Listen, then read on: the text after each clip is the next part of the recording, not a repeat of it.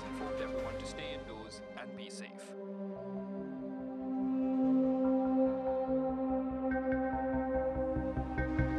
Thank you.